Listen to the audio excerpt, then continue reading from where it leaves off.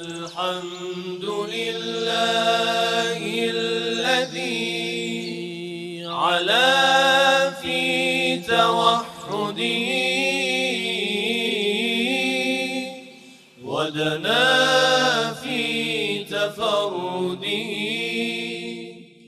وجل في سلطانه وعظم في أركانه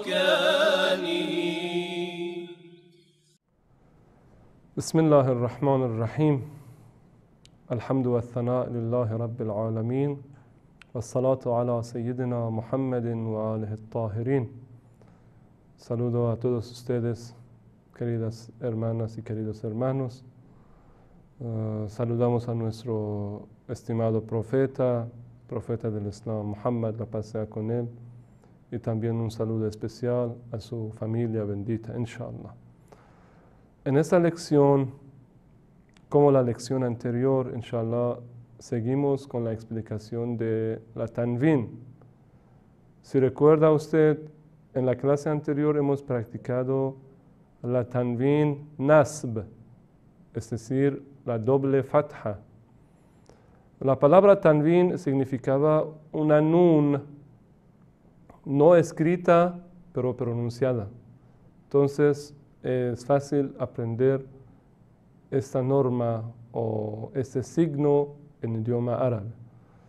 Hoy día, con, con la ayuda de Allah subhanahu wa ta'ala, seguimos uh, continuando de aprender las otras formas de tanvin o dos más signos de tanvin. Primero es tanvin de doble kasra o como que lo llaman en árabe, tanvine jar.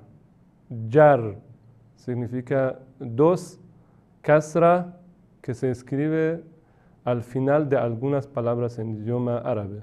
Entonces, doble kasra.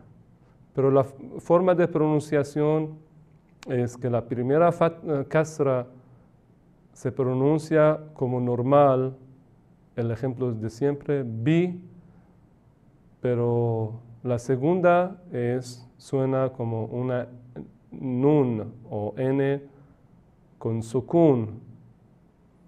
Por ejemplo, kita bin, rasu lin, se termina con in.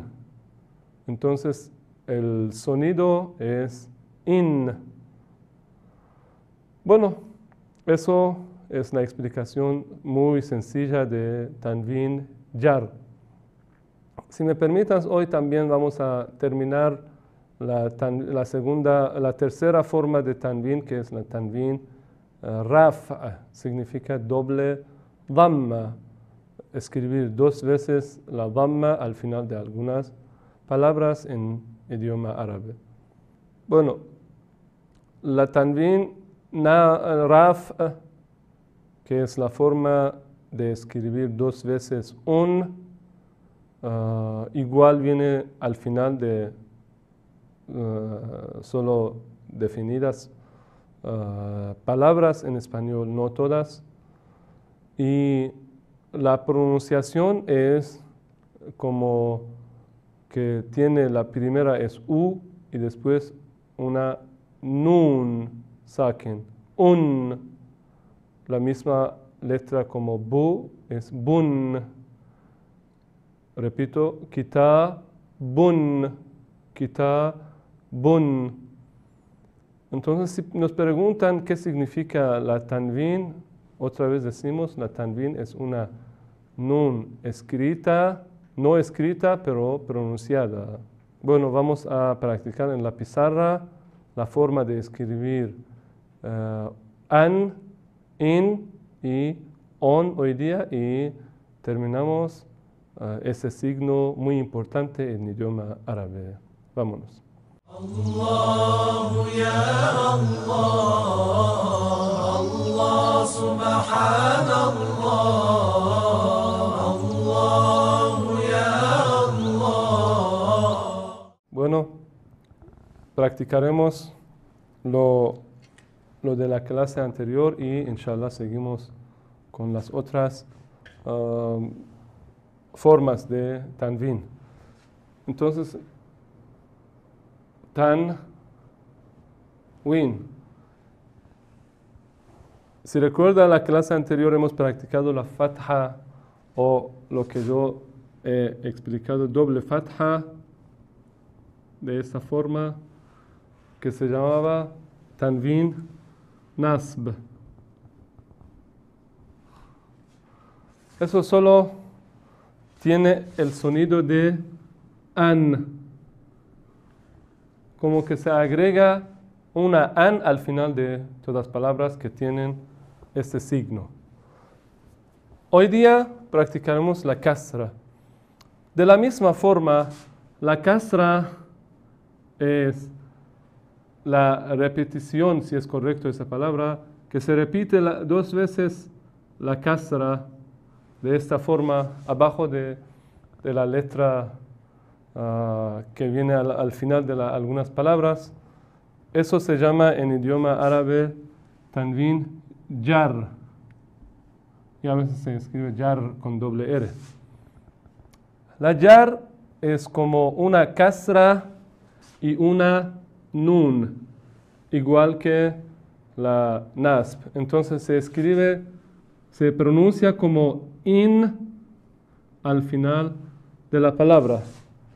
Permítame dar un ejemplo. Eso es bi. Si veas al final de algunas palabras está escrito dos veces la casra o doble casra, se repite bi n. Entonces se escribe de esta forma, pero se pronuncia como este. Bi y con una nun extra, pero con la sukun. Una nun sakin. Bin. Bin. Bin. En idioma español, esta frase es muy conocido. Bin. Bin significa en idioma árabe hijo. Bin Alcázar significa hijo de Alcázar. Bueno, oh, así de simple. Y la otra forma de tanvin es la tanvin de la dhamma. Tanvin de la dhamma se escribe igual. A veces se escribe con doble dhamma y de vez en cuando se escribe de esta forma. Entonces, en vez de la segunda, se escribe como esta. Las dos son correctas. Y también, si se escribe de esta forma, igual es correcta. Todo, todo pero normalmente se escribe con doble dhamma o de esta forma. Entonces, eso es tam- también otra forma de tanvin y se llama tanvin raf. eh, raf. Tanvin raf es la primera que tiene el sonido de U y la segunda es eh, representante de una nun oculta. Entonces la pronunciación es U, N. Dando un ejemplo como B, U y con una dhamma. Bun, bun y se lee, se pronuncia como bu, n, bun. En la casra pronunciaba in, kitabin, ahora bun. Si me permita usted, voy a tener un ejemplo muy fácil.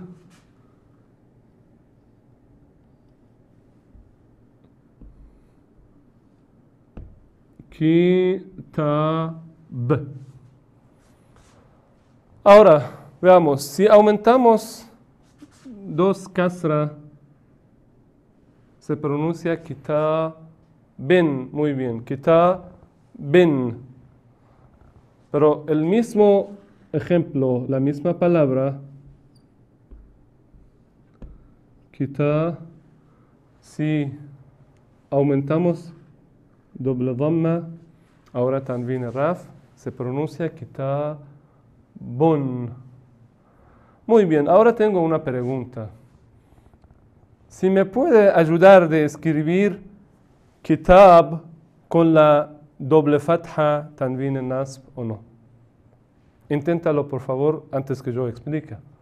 Trata de escribir. ¿Acaso se escribe de esta forma con doble fatha o tiene otra forma? Yo he explicado anteriormente también anteriormente. Kita ban. ¿Sí o no? Pero no es todo completo, sino que en este caso de la fatha yo he dicho que se aumenta una alef extra. Entonces, siempre en caso de la fatha, doble fatha, se escribe con una alef extra, pero en caso de doble kasra y doble dhamma, no tenemos esta alef. Solo hay dos lugares que aunque tenemos uh, también uh, nasb, significa doble fatha, pero no aparece este alef de adorno. ¿Si sabes dónde está o no? Cuando se termina con la ya o se termina con esta forma de ta. Por ejemplo, ho, dan. En este caso, porque al final de la palabra es la ya, no se aumenta alef, no, no necesita una alef. Entonces se escribe de esta forma. O por ejemplo, sala, sala, ta, n. En este caso también no se aumenta el alef, sino que se escribe solo con doble fatha. Entonces la ya y la ta son excepciones que no se aumenta una alef de la forma extra en la tanvin de doble fatha. Eso era una explicación de tanvin. Inshallah que practican y lo, eh, lo eh, van a encontrar en uh, algunas partes del Corán. Yo repito que la tanvin solo viene al final de la palabra. Inshallah practicaremos hasta la siguiente clase. Wassalamu alaikum wa rahmatullahi wa barakatuh.